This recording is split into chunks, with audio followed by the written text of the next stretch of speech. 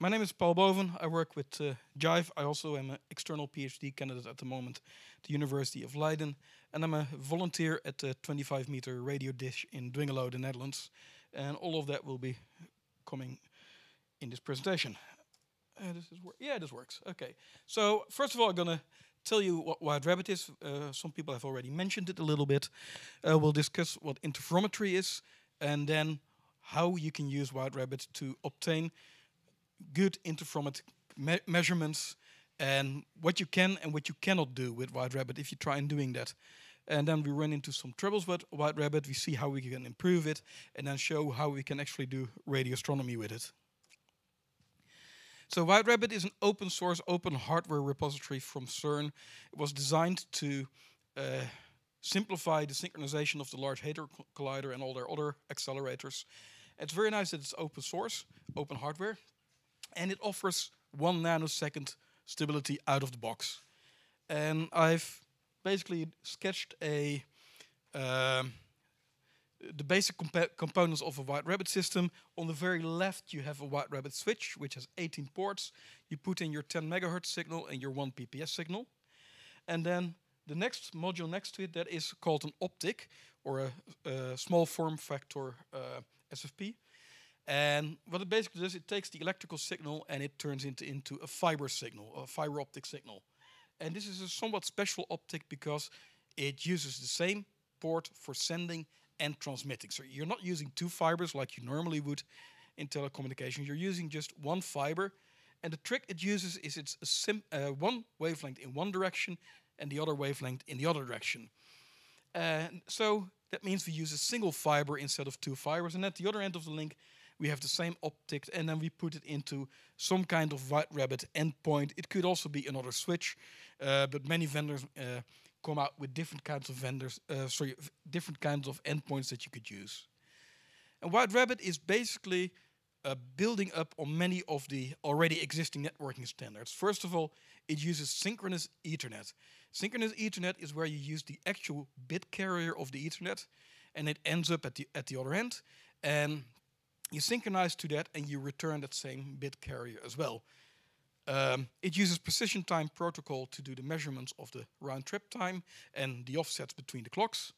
And like I said, it uses bidirectional fiber with two different wavelengths to use just a single fiber. And because it is based on Ethernet, you can also just use it to carry data as well. So you still have a one gigabit Ethernet link as well. And White Rabbit is now part of the IEEE PTP standard, is the uh, high accuracy protocol in the latest revision of PTP. So how does it how does it achieve all these things? Well, I've, I've made a very sketchy, sketchy sketch uh, of, of how it works. You get a 10 megahertz into your FPGA, and at some point you have what we call a reference plane. That is the point where you where you say, well, this is because you have to you have to care about all your cable delays, etc. But at some point it gets ingested in the in the FPGA, and that gets clocked with it, and um, the FPGA drives the SFP, and then it goes into the fiber strand and it ends up at the other end of the link. Um, and there's a number of fixed delays from the FPGA to basically the optical output of the SFP is something that you can uh, not directly measure, but the trick is you do a calibration step where you use different lengths of fiber, and from that you can calculate how it would work with zero length of fiber. And then you can just throw in any unknown amount of fiber and it will just compensate for it. And the way it does it is it measures well, it cannot measure the one-way delay, of course, because it, it doesn't know that, but it measures the round-trip delay. And if you've taken away all of the fixed calibrated uh, delays, then you are left with a round-trip delay over the fiber. And normally you could simply estimate the one-way delay out of this by dividing it by two, but that doesn't quite work because fiber has dispersion. And dispersion means that the propagation speed is dependent on the wavelength that you're using. And we're using one way one wavelength to go that way, another wavelength to go that way. So they are slightly different. So you need to calibrate this for the actual wavelengths that you're using and also for the actual fiber that you're using. And uh, so the important thing is that you keep using the same fiber even though you don't know the exact length perhaps. It also compensates for changes in the delay of the fiber due to change in temperature. All of this gives you a uh, calibration accuracy for well better than a nanosecond, and a stability in the order of tens of picoseconds on your link. And White Rabbit, like I said, uh, takes the one-way delay and basically compensates the in incoming timestamp and uh, subtracts the the one-way delay out of it, so that doesn't matter how long your fiber is, it'll always uh, uh, have compensated for that. So the other thing I want to talk about today is interferometry, and interferometry is uh, where you use many uh, receptor stations, antennas, dishes to measure the, how the phase and the amplitude varies over uh, as, as the signal comes into it. And as you measure these, you um, you can actually try and reconstruct the image of of the, th the source that you're looking for. And at the left and the right, I have some examples of the kind of interferomic interfer interfer oh gosh interferometric arrays. Uh, this is my job. I should be able to say the word.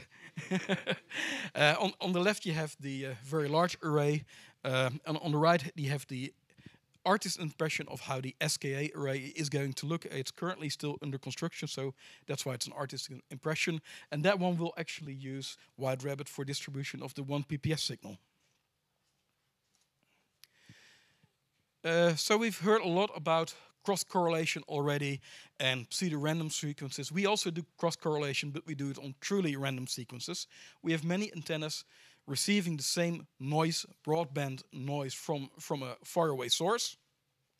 And you do, for each of the baselines, between each, each possible pair of antennas, you do the complex cross, cross correlation, which gives you the phase and the amplitude. And you use that to fill out basically the what we call the UV plane, in, which is in wavelengths in both axes. And then um, you can do an inverse 2D transform and basically get your image back, except that you haven't actually measured all the possible uh, uh, positions, so you have huge gaps in in your incoming data. And what you end up having to do is some very complicated uh, calibration routines, but eventually you should be able to reconstruct the, the image that you want. And just as an example, I've taken, I think, the most famous at the moment image that you can have in in in, in a radio interferometry in, in this case very long baseline interferometry which is the uh, black hole in the center of our Milky Way. This also did not use White Rabbit. I'm pretty sure of that and we'll see why later in this talk.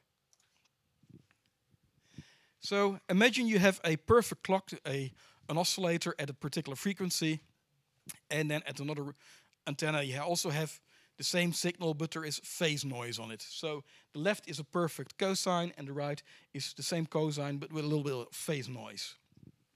What, what we end up doing is doing the cross correlation between the two. And if they were perfectly in phase, your cross correlation product would basically be one.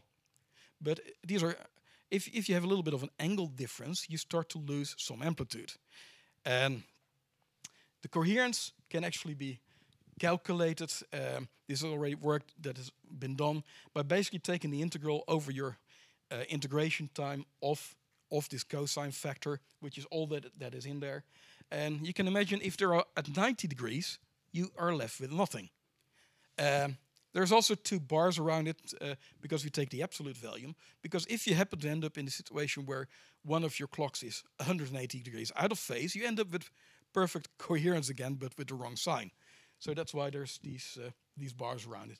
And I said integration time because you're not doing this momentarily, but just like when you're doing cross correlation for pseudo-random so, uh, sequences, you're, you're integrating over, say, a second or so or a few seconds in order to get enough sensitivity and to bring the noise down and the signal up. So the coherence loss is then simply 1 minus the coherence. Um, we're actually we're taking the, the RMS value of the coherence. And if you design a uh, radio interferometer, you want to make sure that the coherence loss is only a small a small contribution to your loss in sensitivity. Because if you have a lot of coherence loss, you've basically built very big antennas and you're still not very sensitive. So for the SKA1, uh, we set a design limit, or I should say a design limit was set that the coherence loss should not be more than 2% due to the clock distribution. Okay, a little bit more mathematics, but this is as bad as it gets. Uh, the expected coherence uh, can be expressed in terms of an Allan variation. And this is a huge formula, but the important part is here. You got the Allan deviation marked, or the Allan variance marked as uh, uh, sigma squared of y, and then of two times, and of four times, and of higher and higher, higher terms. And if you know what the Allan deviation is, you could fill that in. The funny, of the, the interesting thing is you have Allan deviations comes comes in different cases, and one of them is the white noise case, white phase noise, which means that your clock errors are basically just phase jitter. In that case, um, it turns out that you have a particular slope on the Allan deviation. I'll show that in the next slide, and you can simply calculate what what this whole term between brackets should be, and that sum, and out of that pops a very simple uh, formula for the coherence loss and also for what the Allan deviation is at any integration time. Uh, the annoying thing here is that just in the case of white noise, the Allan deviation actually has a bit of a shortcoming, and that is the, the measured Allan deviation turns out to depend on FH, which is the sample frequency. So if you measure your Allan deviation more often, you end up with a different Allan deviation than when you do it less often. It depends on whether you have white noise or white uh, uh, what is it, white phase noise or white, uh, what we see in the next slide. And the other one that has an analytical uh, solution is white frequency noise. And then also from the Allan deviation, you can again do, do the same so sum and you end up with a simple expression for what the coherence loss would be. So there's been much said already about Allan deviations today and yesterday. And Allan deviation is a notion of the fractional frequency error or fractional frequency stability. So you have to imagine, we, are looking here at the left at the value of 10 minus 11. So if you have like a clock in 10, minus, 10 megahertz, so that is 10.7, and then so you're going to have like millihertz or so errors, uh, random errors on it. And then if you integrate longer, you have a longer integration time with the same kind of errors, the value actually goes down and down and down. As you can see, it goes down for flicker phase noise and white phase noise, it goes down with the slope of minus one. And then for white frequency noise, where the actual the frequency varies, um, the slope will become minus and a half. And then for other noise processes that steer your clock or perturb your clock, you up with a different slope. You can imagine that if you have a random walk of the of the frequency, then it does not necessarily even come back to where it started. So the longer you integrate, the more it goes up again. And if you have an actual frequency drift, that the longer you look, the more the frequency drifts away, then the error that you're getting is more and more increasing. Um, the other thing is we're, we're, talking about Allan deviations and Allan variance. The Allan deviation is simply the square root of the Allan variance. So on the left you have the Allan deviation, uh, sigma y, and on the right you have the Allan variance, which is the sigma y squared. And this simply comes down from uh, the statistics that are used to calculate these things. Now if we look at a white rabbit link, let's look first of all at the red line. Um, it doesn't quite match the graph in the sense that it doesn't go up again. It keeps going down almost forever. The reason for that is that a white rabbit link, if I measure the Allan deviation be between the beginning and the end of the white rabbit link, it is a phase locked loop. So there is a limit to the error that can be. There cannot be, cannot be on, on long term a, an actual frequency error. As long as the link never goes out of lock, the Allan deviation keeps going down with a fixed slope of minus 1. Uh, what you see here uh, we're not going to go through all of the colors on this graph, but the red one is the Allan deviation you get when you take two standard white rabbit switches and measure the Allan deviation on that. And that's not bad, but the people who designed White Rabbit designed it, uh, especially Ma Mattia did that. Um, we can actually do a lot better with this equipment, and they made a low jitter daughter board, and that is the blue line, and that is like an order of magnitude better in Allan deviation. And now we get to the point, what does this actually mean for if you want to use White Rabbit? What you see here is the expected coherence loss for a particular uh, amount of Allan deviation for, for the white frequency noise case, uh, and as a function of the observing frequency. And you see the first, the purple line, that is if you have your standard White Rabbit switches, um, uh, it's in percent, it's a logarithmic scale, so it starts very low, but eventually if you get up to about, say, three two and a half gigahertz, you end up with this 2% loss line. And if you go higher in frequency, it goes up very quickly until you basically end up at the 100% loss, where you have where you're basically not seeing anything anymore. You've lost all your sensitivity. And so to improve on that, you can use the White Rabbit uh, low jitter daughter board, and that improves significantly. And then uh, it, it, it's about an order of magnitude better in Allan deviation. and also means that your upper frequency goes up with an order of magnitude, and then you can use it up to say 25 uh, gigahertz. Note that there's no error bars on this. This is just a uh, fairly theoretical exercise at the moment. I should actually take the Allan deviations that we've measured and properly fill this in and see. I mean, this should actually be wider lines or have proper error bars on it, of course. But you also see for the very high frequencies that are used in the EHT, the Event Horizon Telescope that did the uh, um, the, the image of the black hole, well, that's in the hundreds of gigahertz. So you definitely could not use White Rabbit for that. Something else I want to discuss is about timing accuracy and how to connect your White Rabbit um, to your SDR. There's basically two cables between your SDR and, and your White Rabbit. Well, you start with your atomic clock or whatever other source of time that you have. Out of it, you get your 10 megahertz and your 1 PPS. And, and we're going to hopefully see a lot of very interesting atomic clocks today. And out of it, you get 10 megahertz and 1 PPS. And the rising edge of both is perfectly aligned with the start of the UTC second. That's what you want. Except it's not, because what you're actually doing is the way White Rabbit works, but also the way your SDR works, is that the 1 PPS isn't really the start of the second. The 1 PPS signifies the rising edge of the 10 megahertz that is aligned with the start of the UTC second. And eventually, um, lot, lots of lots of other stuff happens, but it gets clocked into a flip flop. The 10 megahertz is maybe up converted first, but eventually you clock it into a flip flop that remembers, okay, this is the start of a new second. This is the phase for a new second. And flip flops don't like it if just right at the moment that the clock pulse comes, you also get uh, your data input changing. Um, what you actually need to protect your flip flop a little bit, in the sense that your your signal has to be stable before and after, and this is called the setup time and the hold up time. Hold time. The setup time is how much time your flip flop input has to be stable before the clock ends, and the hold time is how much longer it should be remain stable before the clock uh, after the clock edge because otherwise you run the risk of either the flip-flop missing the transition and suddenly you're off by a 100 nanosecond because you're at the next 10 megahertz cycle or you can even end up in something that is called metastability where where the flip-flop ends up oscillating for a little while before it settles to a random value and that, of course, means you, you're going to have random errors of 100 nanoseconds. Uh, so I tried to make a graph of that. You have a, with the red cross is basically you must be at zero or at one. You should not be at any of the in, in between uh, between the setup time and the end of the hold time. And for a flip flop, the setup time is always before and the hold time is after, but in a whole circuit, there can be different cable lengths to your flip-flop, etc. So it can very well be that your setup and your hold time both end up in a window that is before the actual clock edge at the connector. But these are things that you need to test. And um, ideally, your uh, equipment provider should tell you what the setup and the hold time are. For the White Rabbit switch, for instance, this is published. Um, while I was preparing this presentation, I was also looking for the setup and hold time values for the uh, SDRs, because I know they've published this in the past.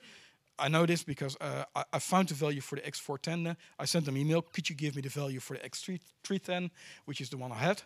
And I didn't really get a satisfactory answer, and now I can't even find the X410 value anymore. Because what Ettus says on the website now is that, well, yeah, if you have trouble, just go to the other edge. Um, so if you do that on the 10 megahertz, if you just said, oh, I'll clock on the negative edge, you're off by 50 nanoseconds.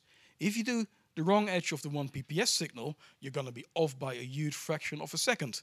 So these things I, I think are not really suitable solutions. Um, what you should do is, well, ideally, you want your PPS signal to come in slightly before your 10 megahertz, but that breaks causality. You can't do that. So what you need to do instead is use a few meters of cable on your 10 megahertz so it arrives a little bit later and then calculate how much delay you've introduced and take account of that in all your calibrations so that you actually have a good timing value. So in the uh, White Rabbit uh, model that I showed earlier, you simply have Signal goes one way, signal goes the other way. You measure the round trip time, you compensate for the uh, dispersion, and you're done. And it doesn't really matter how long your cable is up to the reach of your optics. And the original White Rabbit design used optics with a range of 10 kilometers. And that's good enough for the LHC. Um, we like our interferomic, interferometric, I have to practice words. Uh, we, li we like them bigger in the sense that the longer the distances between the dishes, the larger the resolution that, that you can achieve. And then 10 kilometers uh, doesn't cut it. You can cascade multiple White Rabbit switches, but eventually you're cascading many PLLs and the, and the phase noise gets worse. So you don't want to do that as well. What you can do is you can simply go to a website and buy bidirectional optics that have 80 kilometer reach. And you think, well, great solution. Now I can do 80 kilometers. But then you start to be hit by some facts of physics. And one of them is that if you have a fiber link and it has, like I said, dispersion, now imagine your wavelength changes a little bit due to the temperature of the switch uh, going up.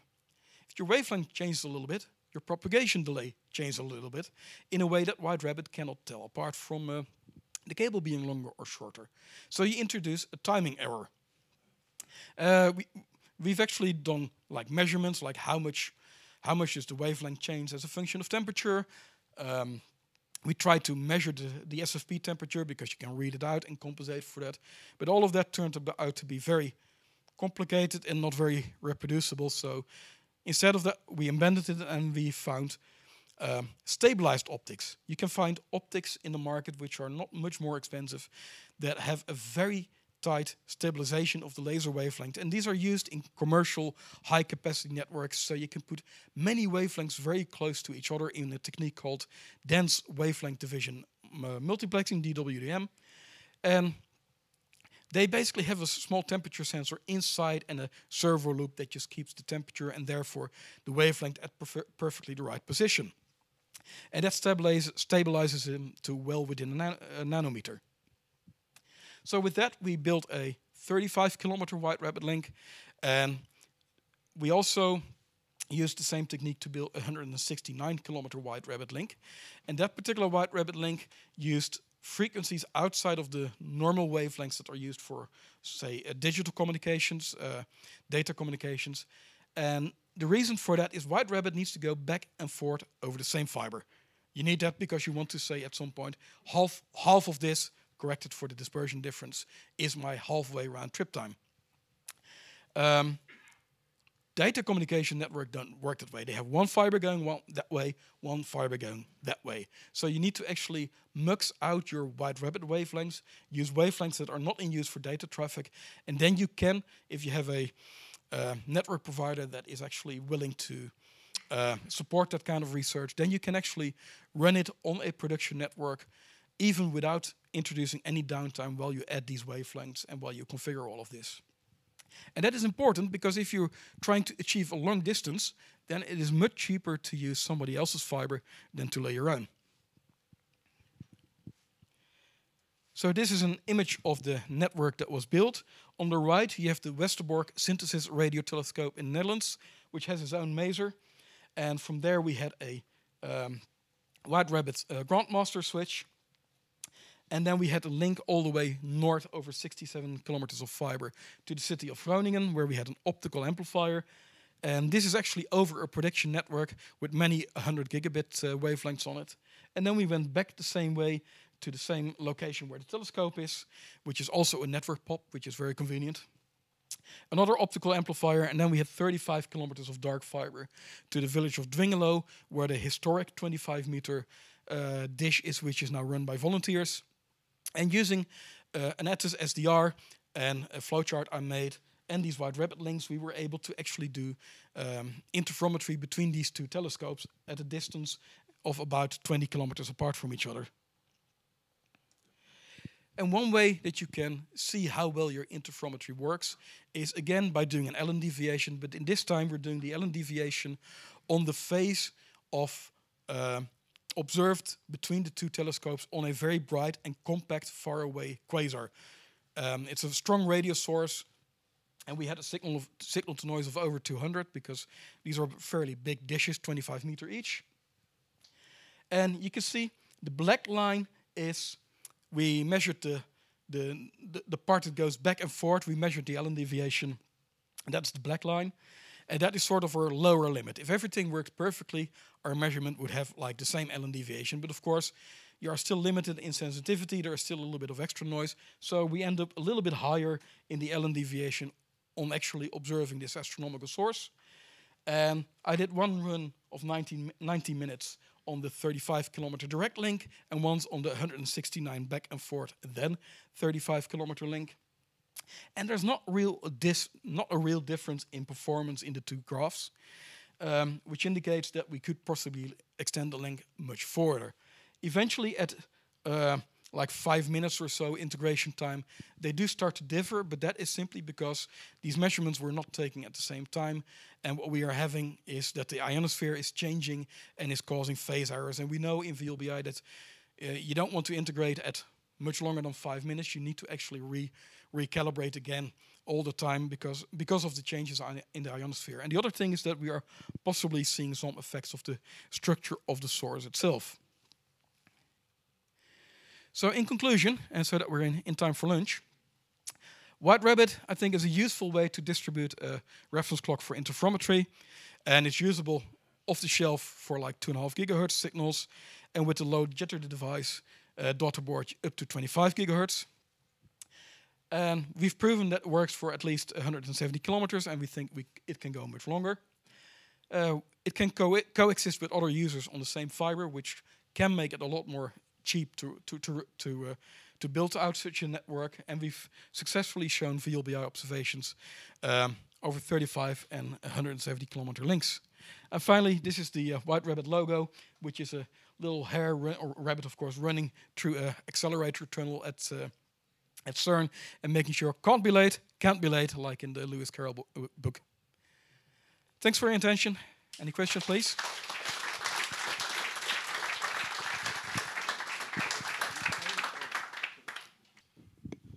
question about the White Rabbit uh, equipments and switch. Uh, is it easy to find these equipments uh, in in Europe? Yeah, uh, like I said, it's open hardware, and there are multiple vendors that um, that build this.